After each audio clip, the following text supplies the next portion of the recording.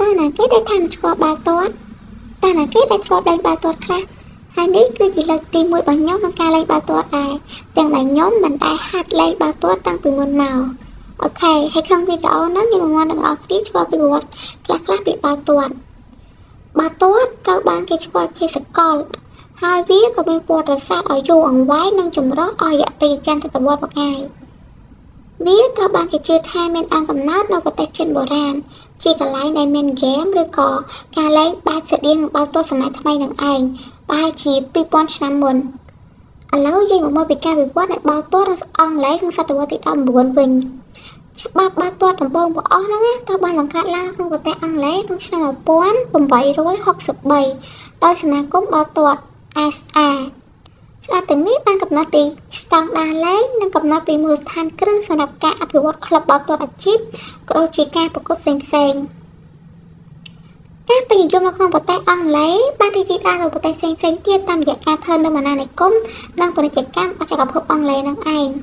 ហើយបន្ទាប់មកទៀតនៅសតវត្សទី20បាល់ទាត់បានបន្តការរីកចម្រើននិងទទួលបានការពេញនិយមហើយវាបានក្លាយជាកីឡាករសកលយ៉ាងពិតប្រាកដមួយ។ហើ យពី FIFA World Cup ដែលត្រូវបង្កើតឡើងក្នុងឆ្នាំ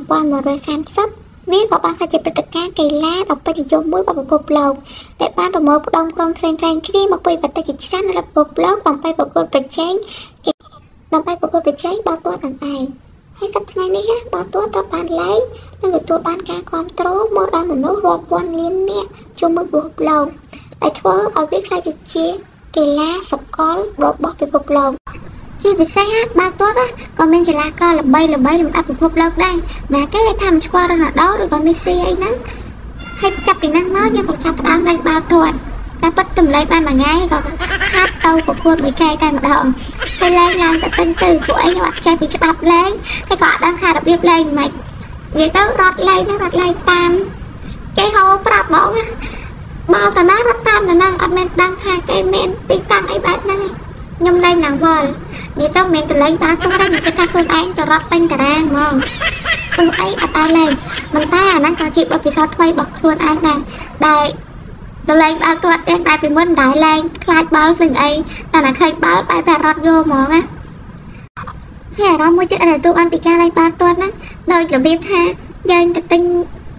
យើងទៅទិញមើលលទ្ធផលប្រឡងអីបែបហ្នឹងជាពិសេសបែបបាល់សិតបញ្ចូលទីម្ដងម្ដងអាថា ឡើងអំភើហ្មង